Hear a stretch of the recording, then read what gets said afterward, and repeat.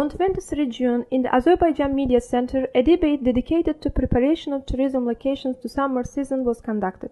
Social Economic Investigation Center Public Union Deputy Chief Natik said in his speech that his organization conducted survey assessing the situation of tourism locations.